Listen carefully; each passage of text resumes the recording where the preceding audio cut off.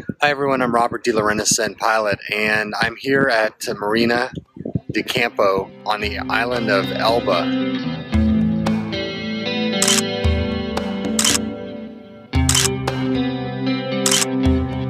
This has been one of my most challenging approaches of the trip, and it was a VFR approach.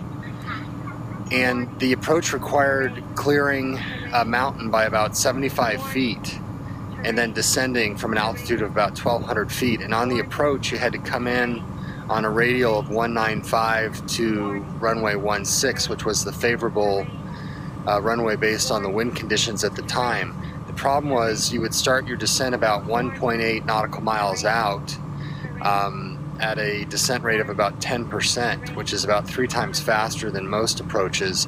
And then, as I mentioned, you had to clear that mountaintop by about 68 feet and then descend. And I came in on the radial at the right uh, altitude to start the descent, cleared the mountain, but I had way too much speed. So I ended up going missed. I was about 30 knots faster than I needed to be on that descent, even though I had the gear down, the flaps down, the prop flat, and throttled back. So I went missed, and that took me over the beach, over the water on the bay, and it was about 200 feet up with the uh, engine full and gear down and flaps down. So I cleaned up the plane a bit and headed out to the mouth of the bay.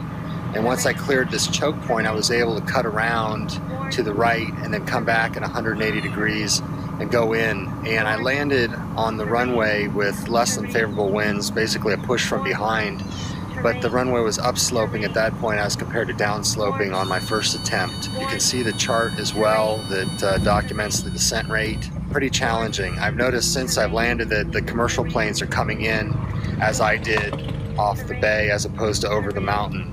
But uh, it was pretty exciting and I hope you enjoy the video. Thanks so much. Bye-bye. Warning. Terrain. Terrain. Warning. Terrain. Warning, terrain.